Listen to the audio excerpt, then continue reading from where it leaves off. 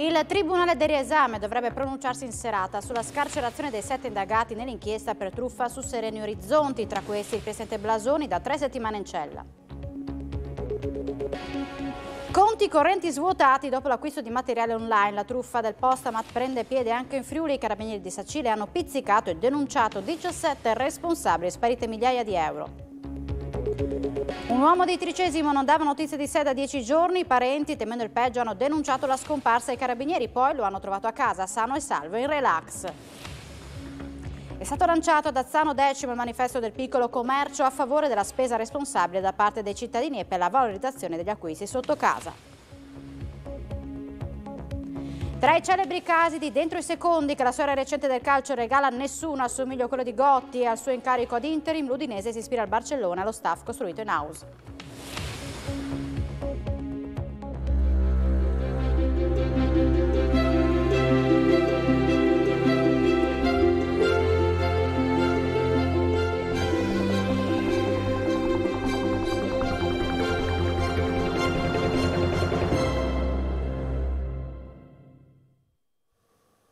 Buonasera e ben ritrovati con l'informazione su Telefriuli. È atteso ad ora il pronunciamento dei giudici del Tribunale del riesame di Trieste per la scarcerazione delle persone ancora in cella a seguito dell'inchiesta della Guardia di Finanza sul gruppo Sereni Orizzonti. Tra loro il presidente Massimo Blasoni rinchiuso nella casa circondariale di Udine da ormai tre settimane.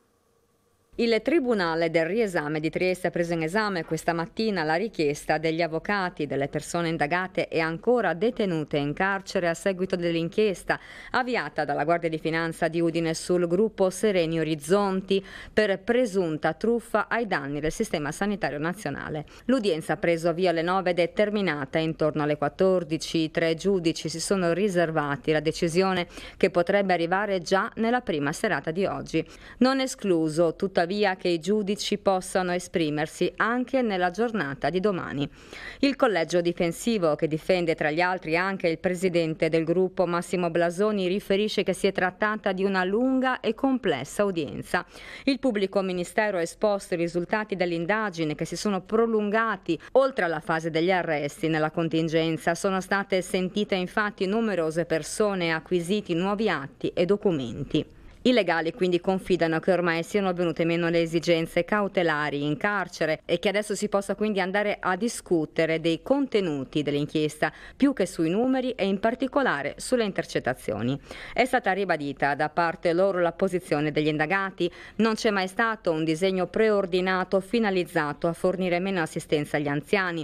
L'obiettivo era quello di ottimizzare le risorse per rendere efficiente il gruppo con tutte le sue strutture su tutto il territorio nazionale nazionale.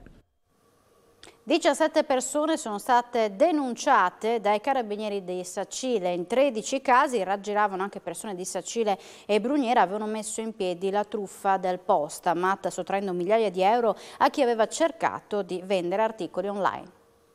I carabinieri della stazione di Sacile, per arginare il sempre più diffuso fenomeno delle truffe online, hanno denunciato alla Procura di Pordenone 17 persone, 13 delle quali a vario titolo ritenute responsabili della cosiddetta truffa del Postamat. Si tratta di residenti in Veneto, Trentino, Abruzzo, Campania, Lazio e Sicilia. Le vittime, residenti a Sacile e Bruniera e nei comuni trevigiani di Gaiarina e Godega di Sant'Urbano, dopo aver inserito in vendita nelle varie piattaforme online i beni, sono state contattate telefonicamente da fantomatici compratori. All'atto di stabilire le modalità di di pagamento, questi hanno convinto le vittime dell'esistenza di un sistema di accreditamento del denaro in linea diretta presso gli sportelli del Postomat attraverso il semplice inserimento della tessera, seguendo in tempo reale le indicazioni telefonicamente fornite dagli astuti truffatori.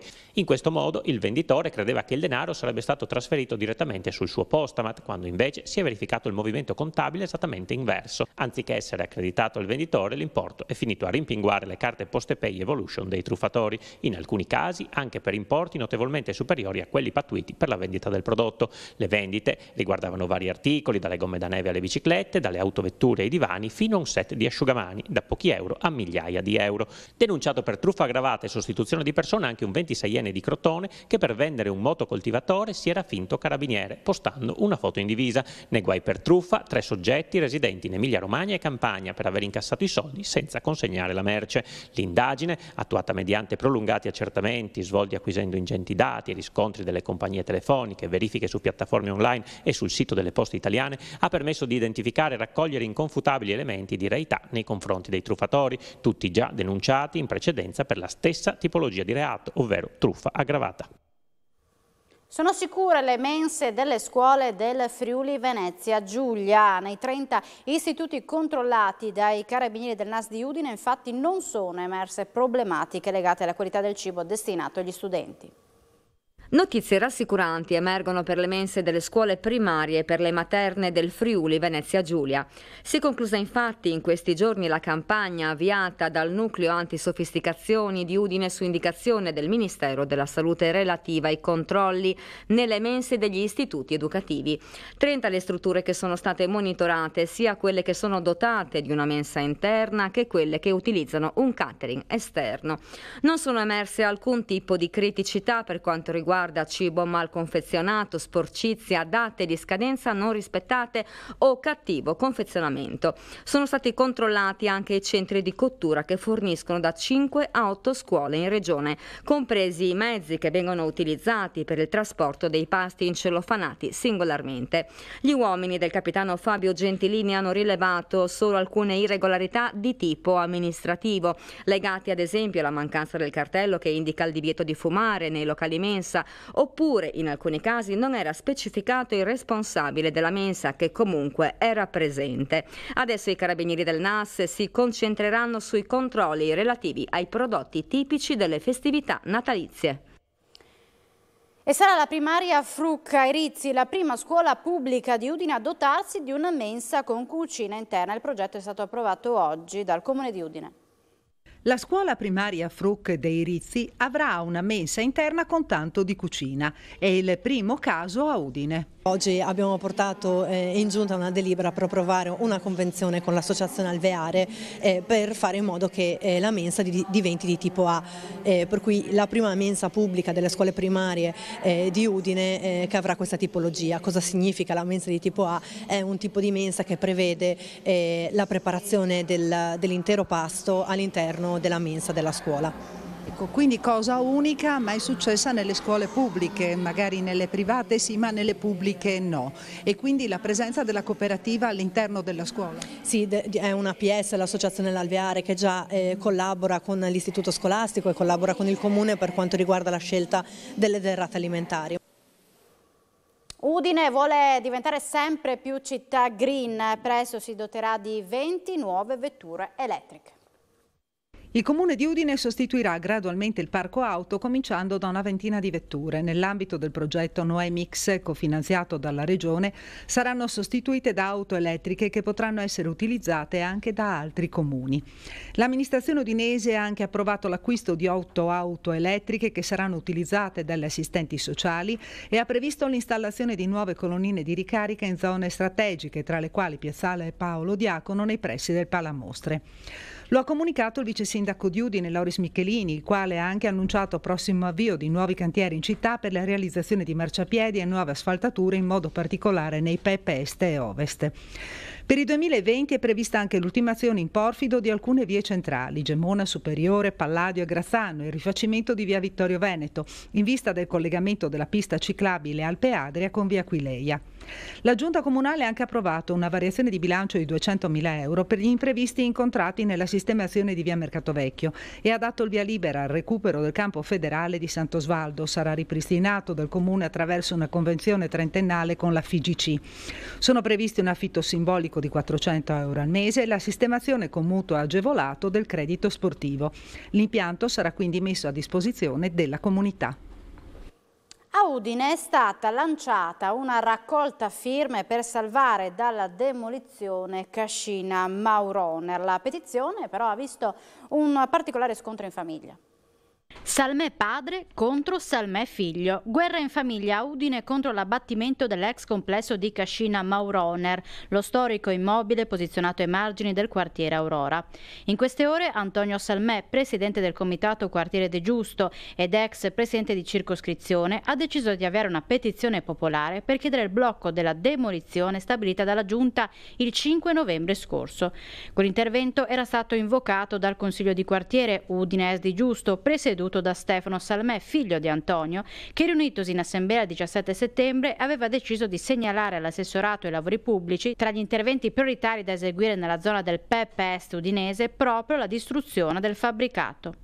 Per Antonio Salmè la demolizione del fatiscente complesso, una delle poche testimonianze della civiltà contadina ancora presente a est della città, significherebbe il completo abbandono di un quartiere d'anni dimenticato e la ricerca di dignità.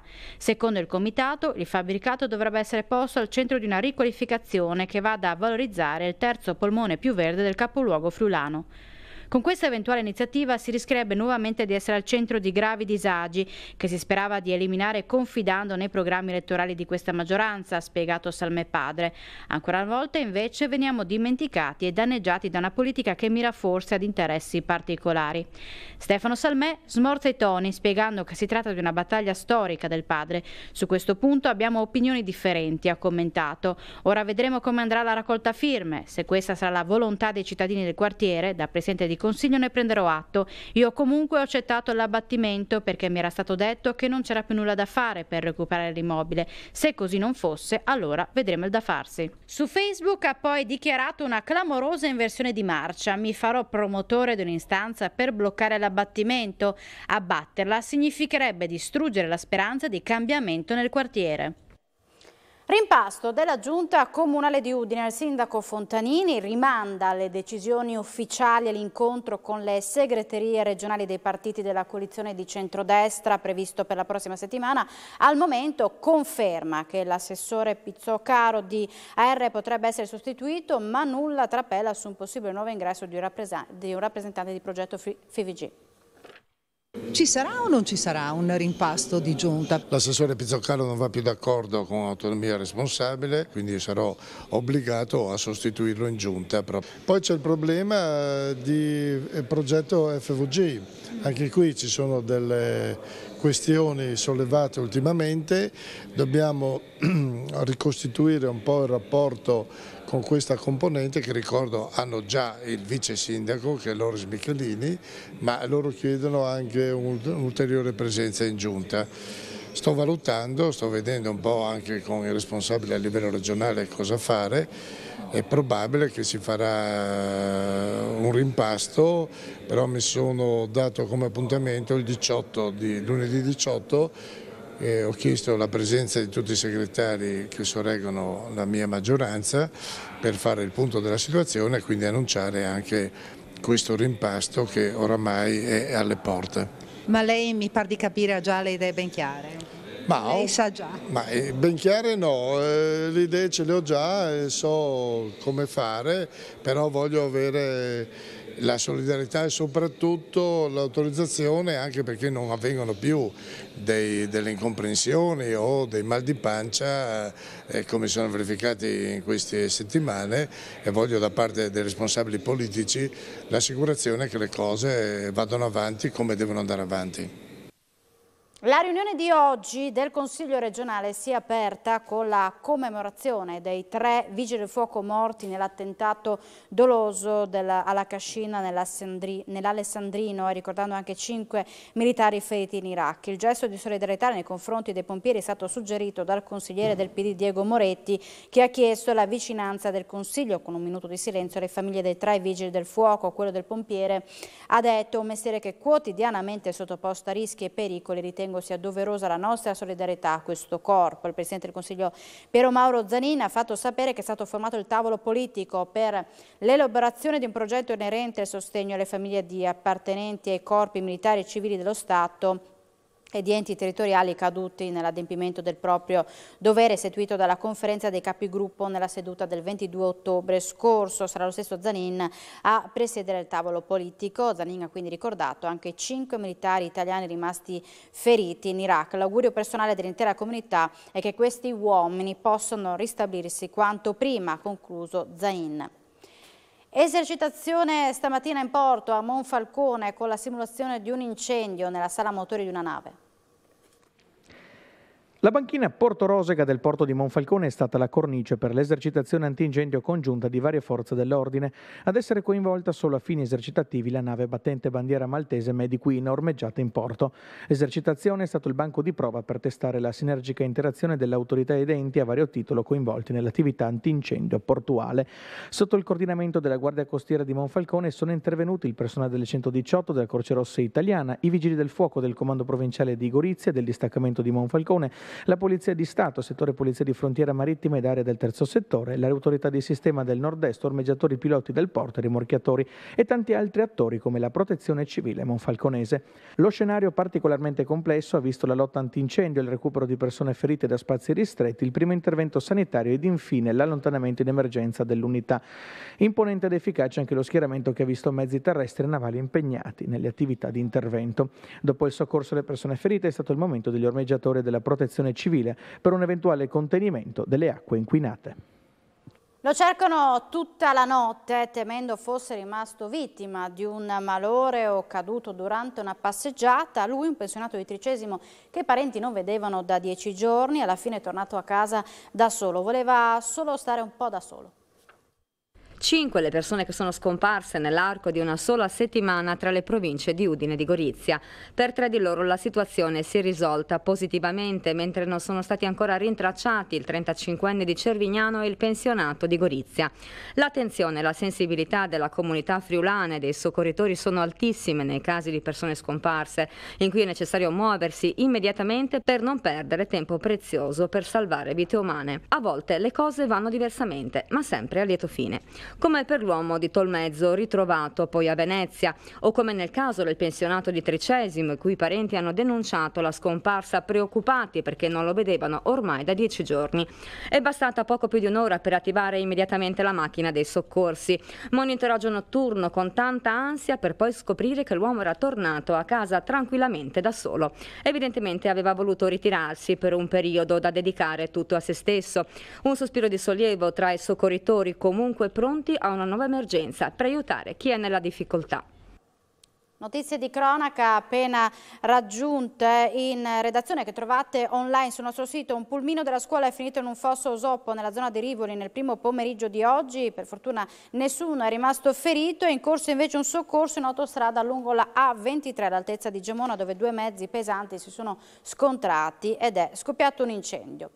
Parliamo della tassa sulla plastica che è in esame per la manovra del governo ma non piace alle categorie economiche secondo le quali è solo uno strumento per fare soldi con la scusa di proteggere l'ambiente. Una tassa che non fa bene all'ambiente, penalizza le aziende e mette le mani in tasca ai cittadini. La plastic tax, sulla quale sta ragionando il governo tra le novità nella bozza della manovra, viene vista di cattivo occhio dalle categorie economiche. Per Confindustria, che vuole tutelare le aziende associate del settore, calcoli alla mano, la tassa, che colpirebbe borse, bottigliette e altri articoli di uso quotidiano, potrebbe incidere sulle famiglie per circa 109 euro all'anno. Questa qua è una tassa assurda che diventa semplicemente un'IVA mascherata. E che per le nostre aziende sarebbe una mazzata, soprattutto in questo Ma momento. Anche per i cittadini, perché poi le aziende la fanno pagare i cittadini, perché riversano il costo sulla vaschetta dove c'è il petto di pollo con sopra l, l, l, il film, eh, di, la vaschetta di plastica e il film di nylon sopra e l'utente pagherà quel petto di pollo qualcosa in più di quello che lo paga adesso. Anche Confcommercio esprime preoccupazione per un rimedio che sembra un palliativo. Una tassa del genere fa sicuramente male se non ha una progressività, cioè eh, le aziende dovevano avere il tempo di essere preparate. Detto questo, eh, il tema dell'ambiente è un tema importante, è un tema che ci deve eh, coinvolgere tutti, nessuno escluso, ma ci deve coinvolgere ancora prima che di agire sul chi la produce, su chi la ricicla, perché questo è il vero problema. Insomma, a parere delle categorie economiche, è una tassa che serve più a rastrellare soldi che a fare il bene del Paese. È una follia.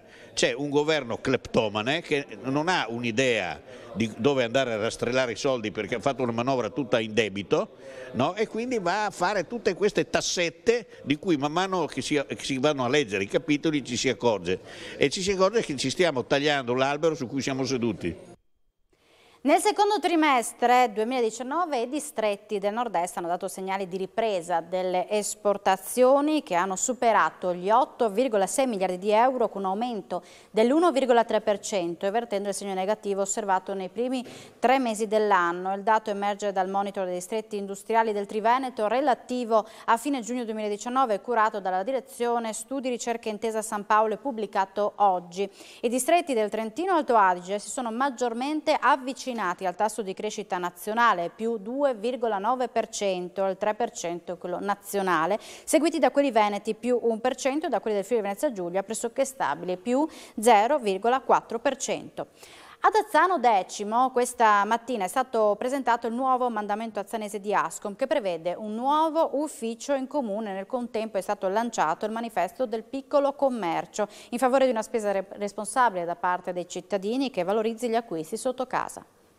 Il commercio azzanese in crescita trova una propria autonomia. Da oggi è attivo il nuovo ufficio mandamentale di Ascom, aperto in municipio al primo piano. L'ufficio sarà fruibile dagli associati dei comuni di Azzano Decimo, Fiume Veneto, Chions, Pravisdomini, Prata e Pasiano, ogni mercoledì mattina dalle 10 alle 13. Una novità importante dovuta anche ai numeri significativi del commercio azzanese. Nel 2018 abbiamo fatto somma zero tra aperture e chiusure, invece nel 2019 siamo per il momento a più 5 aperture, quindi abbiamo guadagnato in un certo senso 5 eh, 5 attività di, eh, commerciali e di prossimità. E il commercio si sta eh, dirigendo sempre di più verso i servizi alla persona, verso la ristorazione, mentre c'è eh, un, una tenuta e un calo leggero per quanto riguarda il settore ad esempio dell'abbigliamento o del vestiario in generale. Oggi sicuramente un mattone importante in quello che stiamo costruendo per il commercio ad Azzano. Nell'occasione è stato presentato anche il manifesto del piccolo commercio che invita i cittadini a fare la spesa in modo responsabile, possibilmente sotto casa. Oggi è una giornata per noi importante, significativa, non è assolutamente un punto d'arrivo ma è un punto di partenza. Il manifesto del piccolo commercio rappresenta sostanzialmente un decalogo che sostanzialmente porta eh, la nostra amministrazione a consigliare e non solo a consigliare consigliare ad attivarsi concretamente per dire alla nostra cittadinanza spendete bene, cioè spendete ad Azzano, spendete nei negozi di vicinato. I negozi di vicinato continuano a costituire un elemento centrale della nostra economia grazie alla professionalità, all'umanità e alla capacità di interpretare e di leggere quelli che sono i bisogni della cittadinanza. Combattete per i vostri sogni perché riuscire a realizzarli sarà la soddisfazione più grande della vostra vita. Il che, il consiglio che Manuel Bortuzzo rivolto ai giovani studenti in un incontro ieri al Caffè Rossetti, poco prima dell'inizio dello spettacolo in suo onore. Lo riporta il quotidiano Il Piccolo. Manuel, visibilmente emozionato, è arrivato con la fidanzata e dopo l'impaccio iniziale ha raccontato della sera in cui è stato ferito.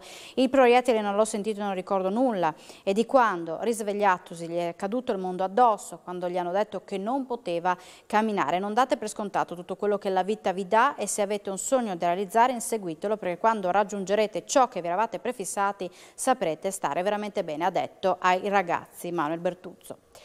Rimaniamo allo sport con l'Udinese con un Gotti, con Gotti confermato ad interim sulla panchina bianconera. La società ha creato un unicum, un unicum, nella storia del calcio, ma in generale la società bianconera per quanto riguarda lo staff tecnico si sta muovendo in maniera innovativa. Per interpretare il presente capita ci si affidi alla storia, recente o più lontana, ma ci sono i casi nei quali i termini di paragone non si trovano, almeno non con precisione.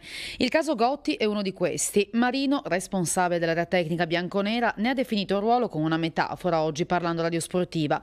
Gotti in questo momento è come un medico di famiglia che si è messo a disposizione della società. Non è dato sapere quanto questa situazione possa durare ed è questo a rendere la situazione bianconera totalmente nuova. Di casi celebri da dentro i secondi il calcio ne ha vissuti, da Di Matteo che doveva fare il traghettatore dopo Villas Boas, ha vinto addirittura un titolo continentale, a Carrera per sostituire lo squalificato Conte fino alla successione in famiglia di Guardiola con Tito Villanova prima e poi a cascata al semisconosciuto Jordi Roura. Barcellona che citiamo non a caso, è lì che nasce l'idea di crescere nella cantera non solo i talenti in campo, bensì anche degli allenatori che si formino nella pancia del club e che non siano più degli elementi in arrivo da fuori che portano con sé tutto il loro mondo, le loro convinzioni, il loro staff. L'ultimo ad arrivare a Udine con uno staff vero e proprio è stato Davide Nicola. Da lui in poi le cose sono radicalmente cambiate.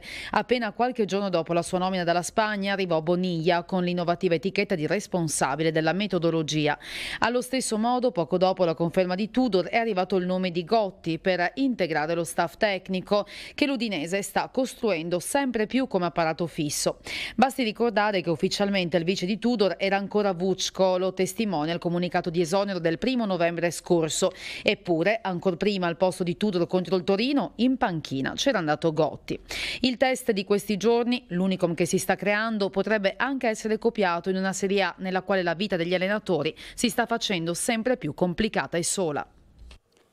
Superato l'infortunio cui l'ha tenuto fuori un mese, Larsen è tornato anche in nazionale. Dal ritiro della selezione il difensore ha rilasciato un'intervista in cui ha parlato anche del suo futuro, rivelando di aver iniziato le trattative con l'Udinese per il rinnovo del contratto che scade nel 2021, ma di non aver ancora trovato l'accordo. È in programma un amichevole per l'Udinese con la sosta di campionato. I bianconeri infatti saranno di scena in una gara internazionale sabato prossimo, 16 novembre alle ore 15, contro lo Spartax Jurma Jurmala, allenati dall'italiano Nunzio Zavettieri. Invece vi ricordo che l'informazione torna alle 20.45 da Pordenone. Alle 21 in prima serata lo scrigno di Daniele Paroni, si parlerà di castagne con anche diversi ospiti che arriveranno dalle valli del Natisone. Una puntata da non perdere, grazie a voi per l'attenzione, buona serata con Telefriuli.